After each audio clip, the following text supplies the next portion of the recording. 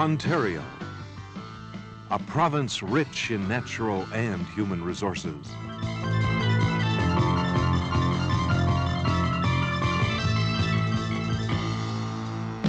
In fact, more than one third of all Canadians live and work in Ontario.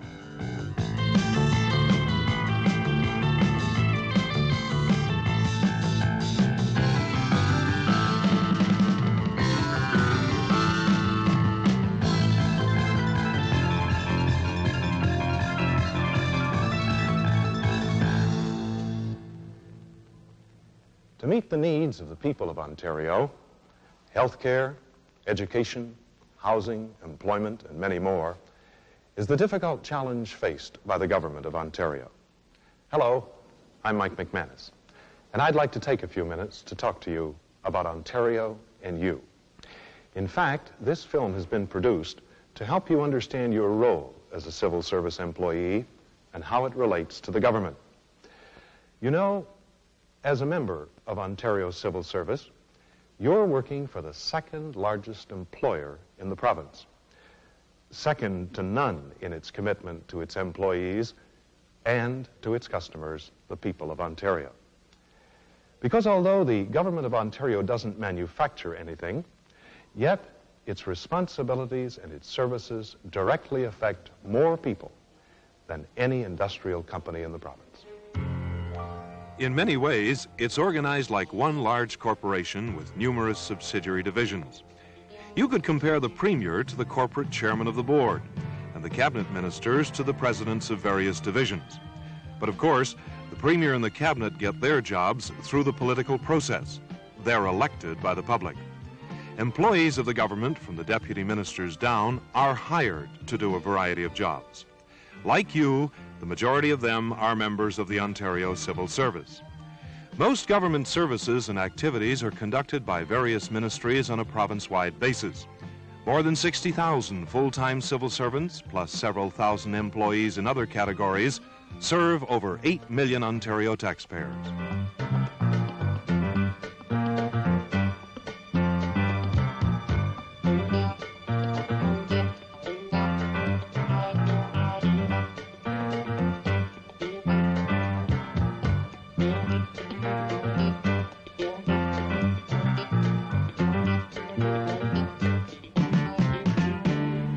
But what about you?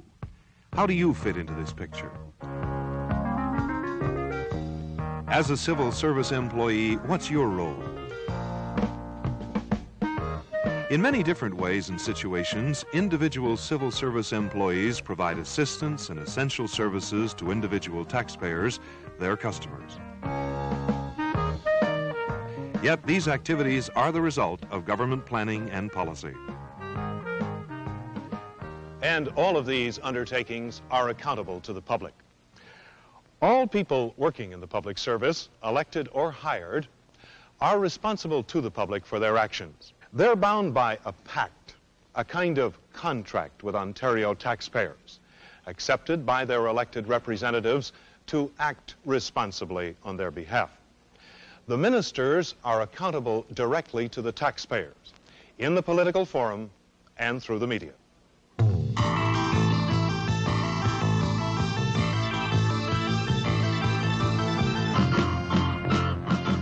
Ministers are also held responsible for the actions of their civil service employees.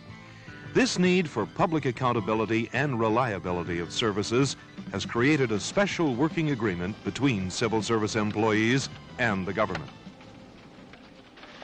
This agreement requires a commitment by employees to a few obligatory requirements. Although you may be represented by a union in most jobs, it is illegal for you to go on strike. That is, you can't withdraw from the public its only source to these services.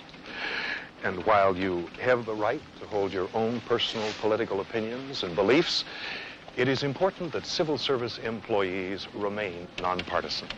So you must remain publicly uninvolved in party politics. To uphold your position of public trust, you must avoid a conflict of interest. And you must never use government information for personal gain. Also, you should remember that your customers, the Ontario taxpayers, want to receive the same courteous, attentive service that you'd like to receive when you're a customer. And it's assumed that unless you're on vacation or ill, you will report for work.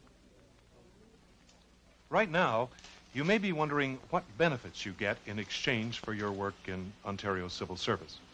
Well, there are many of them, and they're all outlined in your employee's information kit.